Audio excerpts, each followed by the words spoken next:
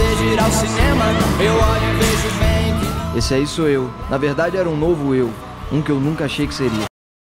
Bem-vindos ao albergue. Esse é o albergue especial. Vocês estão vendo aí que tá tudo diferente, né? Aí no fundo. Bem-vindos ao albergue! Que esquisito, né? Tô sem minha irmã por aqui. Pois é, tô sozinha. Mas fiquem aí com a entrevista com o elenco. Estarão com vocês Chay Suede, Gabriel Leone, a Malu Rodrigues, a Bianca Comparato, o diretor Luiz Faria e o produtor Marcos Altberg. Aos poucos eu fui percebendo que esse filme é um filme de 50 anos de idade, porque eu a história desse filme começa nas filmagens de Roberto Carlos de Diamante Cor-de-Rosa, quando eu conheci o Erasmo, vendo as filmagens do segundo filme da trilogia Roberto Carlos que meu pai dirigiu. Ao longo do tempo, a minha vida veio se cruzando com a do Erasmo e até que um dia ele contou que ia fazer um livro de memórias e eu me apresentei para filmar e ele falou: é seu. Então, uh, a partir daí a gente vem trabalhando esse filme. E eu estou falando isso porque eu tenho percebido que esse filme ganhou uma, uma vida própria, né? E é, é muito curioso quando isso acontece com um filme, porque é, é quando ele deixa de ser uma coisa que você manipula e produz e ele passa a acontecer mais do que você a fazê-lo. E muitas coincidências me deram essa impressão, porque eu não tinha, primeiro não tinha um ator para fazer o Shai, né, para fazer o Erasmo, e um dia eu vi uma foto dos dois e, e percebi que eles tinham uma energia semelhante. E me caiu a ficha de que era isso que eu precisava, um ator com energia semelhante. E aí eu pedi para falar com o Chay, que já chegou dizendo, bicho, é, eu, eu ontem tive com Erasmo, queria fazer um filme da vida dele, quando fui convidado para conversar com você. Aí Bianca, que sugeriu fazer todas as, as personagens femininas que representavam o amor, e aí a gente brincou, né, chamando, é, criando nomes semelhantes para chegar em Nara. Gabriel Leone, que entrou no estúdio para fazer uma cena com o Shai, e quando ele entrou, os dois começaram a cantar, um a fazer segunda voz, e era tão é, rápido, né, espontâneo, que eu achei, inclusive, que eles tinham ensaiado, que fossem amigos e que tinham ensaiado aquilo para mim, e soube que não, que eles nem se conheciam. Durante a filmagem, foi caindo uma outra ficha engraçada que eu percebi que o conflito do filme era resolvido por conta de um pedido que meu pai fez a Roberto Carlos para compor a música de abertura do filme Ritmo de Aventura, que provocou o reatamento da amizade. Ah, eu acho que a gente que está retratando artistas que ainda estão vivos, eu acho que é muito mais difícil, né? Porque a gente sempre sempre procura a aprovação deles. Então, é óbvio que o fato de cantar ajuda bastante. A gente sempre optou, é, já que tinha o Chay que cantava, o Gabriel que cantava, e eu, a gente escolheu que a gente fosse cantar de verdade. Eu acho que é, a dublagem, ela sempre afasta um pouco, né? A, a, música por si só, pra gente, pelo menos, que está interpretando, ela vem, traz toda uma emoção, né? A música, ela transforma pessoas. Então, pra gente fazendo filme, acho que, não sei se pra vocês que assistiram, é, se isso passou, mas a gente sempre curtia muito cantar as músicas e eu acho que isso muda também o fato de a gente agir e de pensar como personagem mesmo. Eu amei, eu me senti muito honrada de ser convidada pelo Lui para fazer a Vanderleia e ela ainda não viu o filme, vai assistir hoje pela primeira vez, estou tensa, mas espero que ela goste, mas eu encontrei com ela e ela, enfim, adorou que foi o que eu fiz e isso, pelo menos essa aprovação já tenho. Como eu já canto, foi muito mais fácil esse lado, mas é óbvio que a gente teve toda uma pesquisa de, de assistir milhões de coisas e de conhecer, de conversar, pra gente não imitar. A gente em nenhum momento quis imitar, a gente quis fazer a nossa Vanderlei, o meu, a minha Vanderlei, a Malu fazendo Vanderlei, o Chay fazendo o Erasmo e enfim, a gente faz o nosso. A gente pediu licença a eles para tentar retratar. Lui comentou de você ter criado essas personagens diferentes. Por que, que você teve essa ideia? Como vocês desenvolveram isso? Essa ideia partiu porque tudo que eu li sobre a Narinha e tudo que Erasmo escreveu sobre ela era é sempre com um amor é, muito elevado. É, ele fala dela como uma inspiração até hoje, uma mulher que marcou a vida dele, o grande amor da vida dele. E a maneira que, que o Luiz estruturou o roteiro, que eu amo, que é um recorte só, né, um, um período né, só, em vez de tentar abarcar a vida toda, a Nara aparecia na cena final. E ela tem uma importância na vida dele muito grande, né? A mãe dos filhos dele e tudo. Então isso foi uma maneira poética que a gente encontrou assim de dela poder estar tá em, em todos esses momentos de amor do filme, né? É, né a, desde a adolescência assim, mais criança e depois que ele vai crescendo e tudo, como homem, as mulheres que vão aparecendo é como se ele estivesse sempre buscando uma mesma mulher que ele encontra ao final do filme. Então foi uma maneira de trazer a presença dela dessa forma, com, com amor e leveza também, um pouco de, de poesia e, e brincadeira, né? Aquela coisa, ah, eu te conheço de algum lugar e tudo. E a gente também não quis carregar muito nas caracterizações, assim. A ideia não era ser um professor aloprado, né? Tipo, era de manter a narinha em todas, né? Então, o meu rosto raramente muda. A gente brincou com uma peruca na, no momento ali da prostituta, da Clara ali propositalmente, assim, como se uma, né, ela fizesse um personagem de francesa, não necessariamente ela é ou não. E por aí vai. A gente só mudou o cabelo, a roupa, um, um jeito de falar e uma atitude. Mas a, gente quis preservar mesmo esse rosto, assim, da, na, da narinha em todas. A escolha do recorte é porque, como eu falei, eu queria mostrar uma parte da história que pouco se mostra, né? ou que já que nunca foi mostrado. Né? Porque depois que o cara faz sucesso, Aí todo mundo conhece, todo mundo sabe. Depois todo mundo conhece e tal. E aí eu escolhi essa, essa, esse recorte. A, a edição do filme. Esse filme é um negócio engraçado, porque eu olhava na equipe toda, né? Todo esse pessoal aqui, eu era o único cara que tinha vivido a, a, aquele tempo propriamente. Eu falava, gente, é um tempo que não tinha telefone celular, cara. Que o cara fazia uma ligação para São Paulo, tinha que pedir a telefonista. Você imagina isso? Eu percebi que também é, é, assim, é um pouco a história da humanidade, até 60 e de 60 em diante, né? São duas partes da história da humanidade, a primeira até 1960. E eu precisava mostrar isso nesse essa, essa grande diferença que tem entre os anos 60 e hoje, que é quase como, porra, entre os anos 60 e o homem de Neandertal, entendeu? E aí foi essa edição de preto e branco, sabe? Buscando com imagens de arquivo para dizer, cara, o sucesso era diferente, entendeu? As pessoas né, se, se esguelavam ali, mas era num teatro em São Paulo e tal. Aí as coisas de quadrinho, que são uma representação de Erasmo no filme, né?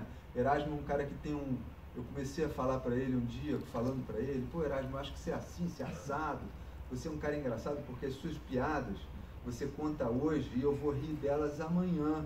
Eu vou entender que aquilo era uma piada amanhã. Ou seja, é uma, um jeito né, é, de efeito retardado de contar as coisas que é muito difícil de você transformar para filme, né? E aí eu comecei a buscar nas músicas, né? Eh, respondendo um pouco a Rua também, é, é, esses elementos. O cara gosta de luluzinha, bolinha, saca? É, bang bang, western, xerife. E aí isso veio entrando. E aí essas coisas, quando você começa a descobrir isso, é um. Não, como se fosse um, um sei lá, um tesouro que você vai levantando e vai contando, levantando o dedo e dizendo, cara, tô aqui, tô aqui, e vira esse filme é, acho que a, a, ideia dele se dirigir à plateia, eu tinha a ideia inicial de botar o próprio Erasmo narrando esse filme, como se fosse uma espécie de Gandalf, né? que tomasse conta do filme, sabe? Um um dinossauro do rock, saca? Mas ele falou, não, não quero trabalhar não, não quero filmar não, não quero fazer nada. Eu falei, então beleza, então vou ter que sair com uma outra saída. E aí surgiu essa dele falar para a câmera e aí o Shai, pô, pegou isso super bem e de fato tem essa diminuição de, de olhar, né, de, de, de, sensação. O cara vai entrando numa outra fase que já não é tão é, adolescente, vamos dizer assim. Eu, agora, vendo o filme, eu vi o filme do Queen há pouco tempo, e, pô, esse filme dá uma conversada com o meu filme, né? Fiquei muito satisfeito de ver isso, mas caiu essa ficha de que esse filme que eu fiz, ele, ele, ele recuperou, recuperou não, ele foi é, é, é, né, se apoiar nos filmes do meu pai. E eu olhei para esse filme pensando, cara, esse é o quarto filme da trilogia. Né? É um spin-off da trilogia do meu pai, saca? Eu falei, porra, que maneiro, vou fazer uma trilogia também. E comecei a falar, pô, agora eu quero fazer minha fama de mal. O Erasmo falou, pô, bicho, tu me fez muito bonzinho, eu era mais malzinho. Eu falei, pô, então vamos fazer agora o Erasmo malzinho, né? Vamos pegar o, o, o né, uma outra parte. Tem música, tem 20 músicas. Eu preciso de 20 músicas, ele tem 600. Pô, então vamos fazer o 2, 3, 4. Ao invés de ficar fazendo minisséries, faz um atrás do outro. A gente não teve a preocupação em imitá-los, né? Nem na maneira de cantar, nem nos trejeitos, nem na maneira deles se comportarem. O que a gente fez foi se cercar do universo que o cercava. E aí sim se inspirar e se contagiar desse universo. E isso trouxe coisas novas e coisas repetidas também. A gente, em algum momento, se pegou fazendo coisas extremamente parecidas com eles e sem ter essa preocupação da imitação como ponto de partida. O que deu certa liberdade para a gente, mas o que também aconteceu pelo fato da gente não ter acesso ao material da época. Muito porque foi um material destruído por incêndios, por alagamento, por uma série de coisas das televisões antigas. Então, a gente, por não ter acesso a esse material é, em boa qualidade, e o que tinha era pouco em, em, em má qualidade, isso abriu duas vertentes. Uma foi a gente não tem tanto material assim para ver. E a outra foi a gente não tem tanto material assim para ver e por isso a gente precisa se inspirar ainda mais do universo que o cercava naquele momento, que era o rock and roll, que era a inauguração do rock no país e que eles tinham a patente, eles se sentiam com essa patente, quase responsáveis por evangelizar outros meninos, entendeu? É, eu acho que falando especificamente da, dessa questão vocal, é, vale destacar também o trabalho do Felipe Abib, foi nosso preparador vocal. É, nesse sentido que o Chay estava falando, o tempo todo a gente não se preocupou em imitar ou caricaturar. Até porque eu já cantava, o Chay já cantava também, então nós temos a nossa voz, o nosso timbre, nat naturalmente, naturalmente as nossas limitações e, e esses caras são nossos ídolos. Acima de tudo, é, tem um tom de homenagem, assim. Os outros atores também, como eu, assim, que assisti, assiste a eles cantando, a cena do Chay cantando no, no barzinho, muda muito a reação quando você vê, você escuta ali ao vivo, não, não é um playback e, a, e o ator, sabe, assim, dá, é diferente, tem uma sensação, uma aura muito diferente, dá uma autenticidade. E a contracena passa a acontecer na música, né? Que em vez de ficar destacada como um momento da música, vira um filme, um grande filme onde a música é, é tão atuada quanto, quanto os diálogos. Um negócio, o próprio Erasmo, ele, ele falava, pô, bicho, legal gravar de novo, né, galera? E essa coisa não tinha sido encontrada, esse, essa solução, até que o Chay chegou cheio de segurança e falou, vem cá, queria te fazer uma proposta, vamos gravar? E eu falei, pô, Chay, a ideia é ótima, mas eu não sei, eu preciso conversar com o Erasmo, preciso saber se ele topa. Pode, filho, pode fazer o que você quiser, pode gravar, pode, não tem problema, me disse o Erasmo. E, e a, o resultado é que a música da Jovem Guarda é hoje uma música do estéreo, entendeu? É um 5.1 da música, né? Que seria muito um resultado pequenininho e constrangedor botar aquela música diante, que foi gravada naturalmente com né, uma qualidade técnica muito inferior à que se tem hoje. E o que aconteceu também é que deu um retrofit na música, né? Ou seja, é o Erasmo hoje entrando na música né, na voz deles, Erasmo, Roberto Vanderleia, do jeito que ele canta as músicas hoje. Isso foi maravilhoso. Aliás, é, é preciso ressaltar o seguinte: a, a, gravação da trilha sonora foi o primeiro trabalho que nós fizemos. Quando o Chay propôs, Erasmo topou e eu, a gente foi à Universal Music e aí eu, eu, eu tratei com eles a gravação da trilha, que aconteceu em uma semana. Em uma semana a trilha estava pronta, Erasmo vendo, aprovando e o filme começou a partir dali a acontecer, né, porque todo mundo entendeu do que se tratava. Isso foi muito legal no filme. Você usa, e o filme usa a banda dele, né? Que isso é importante Exatamente. também, a banda que ele tem hoje. É, queria saber, vocês filmaram em 2015, né? Queria saber do Lui, quanto tempo vocês levaram, assim, como foi o processo de finalização do filme e do, e do elenco, como vê tanto tempo depois fazendo esses personagens. A finalização do filme, ela foi acontecendo aos poucos. Tinha um monte de coisa a ser tratada, é, resolvida, direitos autorais de brasileiros e estrangeiros. E isso me deu tempo de trabalhar muito esse filme. Então, o filme ficou na ilha de edição. De vez em quando eu acordava falava, cara, aquela cena, eh, vamos lá fazer de novo. Tinha a questão do, do, da música, que eu, eu, combinei com a Natara Ney, que foi a editora do filme. Eu falei, Natara, vamos fazer o seguinte, bota todas as músicas inteiras. Depois que o filme estiver pronto, eu vou analisar a curva dramática dele e vou ver que música que eu preciso diminuir ou enfim, o que eu preciso fazer. Chegou no fim dessa edição, eu vi o filme e falei assim, puxa, eu adoro esse filme do jeito que está. Aliás, Natara, você cortou a segunda parte de Devolva-me, que é a, a parte que o Shai canta, tem que botar de novo. Isso não é um hábito né, do cinema. O cinema ele tem que ser rápido, mas curiosamente eu me sentia é, muito agradado por aquele jeito e acabei pensando, quer saber? Vamos assim e vamos ver o que, é que acontece. E é isso, é engraçado, é um filme de quase duas horas que é, nem eu sinto cansaço. Eu estava contando para a Bianca que eu tive que aprovar a cópia final. Eu já vi esse filme 50 vezes, eu não aguento mais ver o filme. Mas tem que aprovar, vai lá ver. Aí sentei num cinema desse tamanho, único cara ali no meio, eu, Marco, tava cada um num lugarzinho assim. Eu comecei a ver o filme e aí entra o Erasmo com a mãe dele para mostrar o mar. Eu me arrepiei. Aí entra o, o Gabriel cantando amigo, eu, eu chorei. Aí entra o Chay lembrando do passado e encontrando o caderninho.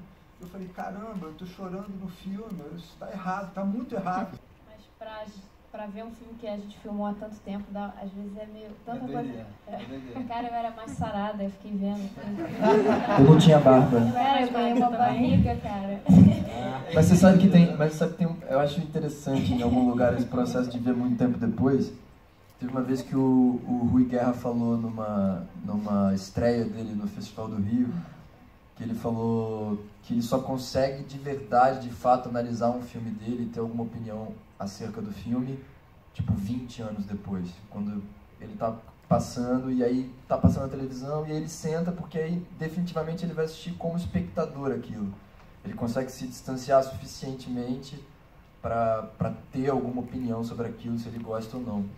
É, eu posso dizer, pelo menos pra gente en- enquanto atores, é muito comum de você fazer uma cena e de imediato você sai da cena, às vezes tem uma sensação de puta, podia ter feito diferente, podia ter melhorado aquilo, ou enfim. É, então tem uma autocrítica muito presente. Inclusive acho que a gente lida diariamente com isso para se limpar, né, disso assim, de viver o momento presente na cena e e aquilo ali era o melhor que naquele momento podia ter acontecido. Mas ter a oportunidade de ver esse filme tanto tempo depois, todos nós mais rechonchudos, mais novos, Carinho infantil mesmo, uma bochechinha de criança ainda, né? O, Gabriel tinha um buço loiro, você vê? Você vê que é um bucinho loiro ainda. eu acho, eu acho que eu acho que eu acho que é uma oportunidade interessante nesse sentido assim, de já ver com outros olhos assim, sem tanto julgamento do calor da emoção ali de ter acabado de filmar e tal. Então a gente já vê com uma, com uma outra cabeça. Primeiro saber se o filme foi rodado em 2015, por que, que só agora em 2019 ele está sendo lançado. E também é o seguinte, o Marco, que é tio de uma grande produtora de elenco, vocês descobriram um ator lá que eu acho que foi um grande achado, que é o que faz o Tim Maia. Quem lê o livro sobre o Tim Maia vê que ele era uma pessoa completamente diferente, peculiar e tal. E esse ator, cada vez que ele está em cena, ele rouba a cena para ele completamente, a gente tem vontade de assistir mais aquele Tim Maia. Queria saber como vocês descobriram esse ator. Cara, é, foi difícil, não foi fácil. É, e aí tinha o rapaz que tinha feito o próprio Tim Maia, que seria o óbvio, né? Ah, então faz com. Não, não vou fazer com esse rapaz, apesar dele ser bom, eu não quero trazer o Tim Maia do filme do Tim Maia para esse filme. E aí tinha o outro que tinha feito o Gonzaga. Eu falei, pô, mas eu não vou trazer o Gonzaga pro filme, ainda que, né? Ainda que dê pra. Eu acho estranho, eu achava estranho, assim. O garoto é um menino, eh, morava no Vidigal na época, tinha feito eh, o Nós do Morro, botou na preparadora de, de atores, eles fizeram as, as oficinas lá e ele veio ótimo. Durante a filmagem, é um negócio, estou contando isso porque é uma, é uma coisa muito engraçada da vida do Vinícius, né?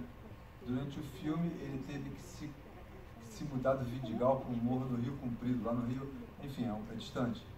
E aí, eu falou, cara, não estamos conversando, conseguindo falar com ele, porque está tendo tiroteio no Morro do Rio Comprido. Cara, pega esse menino, bota no hotel, traz para cá. Não, não, não, não faz, ele não quer, fica lá. Beleza. Aí, tudo bem. Agora, quando a gente vai lançar o filme, eu falei, cara, alguém sabe do Vinícius? Cadê o Vinícius? Sumiu o Vinícius. Aí eu falei, cara, internet, né? Botei, fiz um texto que está lá escrito, dizendo, Vinícius, cadê você? Preciso falar contigo. E demorei um tempo até encontrá-lo.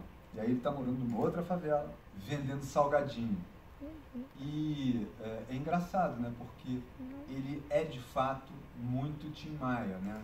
Assim, até nisso, entendeu? Quer dizer, o Tim Maia era o entregador de marmita, o, o, o Vinícius estava nessa situação que eu não sabia. Então eu falei, cara, vem cá, vem, vem comigo porque você precisa ficar junto do nosso ambiente.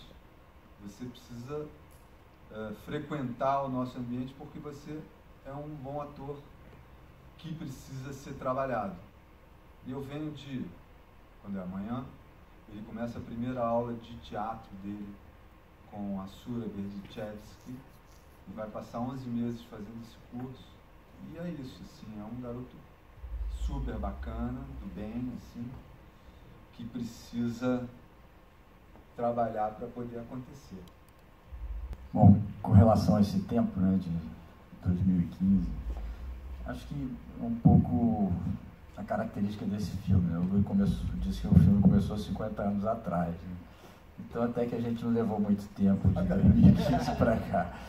Mas o fato é que acho que o filme foi, foram vários encontros felizes, né? E, e no, apesar do tempo, esse tempo foi necessário para maturar. Na verdade, o filme já está pronto desde o ano passado, né? E aí foi o tempo de ser trabalhado o lançamento dele, que também a gente acredita que teve um tempo bom. É, e aí foi todo um processo mesmo, né? Até o roteiro, o roteiro levou um tempo, a gente buscar financiamento, enfim, esse é o processo, mas eu acho que o filme é, teve o tempo que foi necessário.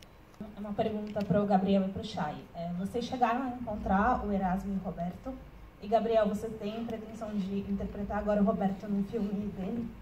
É, eu consegui encontrar o Erasmo algumas vezes é, antes do filme começar. Primeiro, logo depois dos testes, a gente se encontrou e, e fiquei muito encantado com o jeito dele, assim, porque ele é uma pessoa muito elegante e muito amorosa e deu muita liberdade para gente, uma liberdade de confiança mesmo, o que trouxe ainda mais responsabilidade. Mas ele não ia muito ao set, exatamente para não ter o peso do homenageado, né? Mas ele foi às gravações das músicas e se emocionou e foi meio que um passaporte, né, pra gente continuar. O, o Roberto eu não conhecia também. Não. Desculpa, Gabriel, só um segundinho. Não é que ele não, não, não ia ao set, o Erasmo, no começo do filme eu falei, Erasmo, é o seguinte, estamos começando o filme, vai ser uma pauleira, o filme é seu, venha quando quiser. Ele falou, pô, sabe o que é? Pô, eu tava querendo ir na filmagem. Porra, Erasmo, você quer ir na filmagem agora que acabou a filmagem? Acabou a filmagem, não tem mais filmagem. Foi até duro, porque eu falei, cara, o que, que eu falo pra ele? Eu falei, cara, é, amigo, acabou.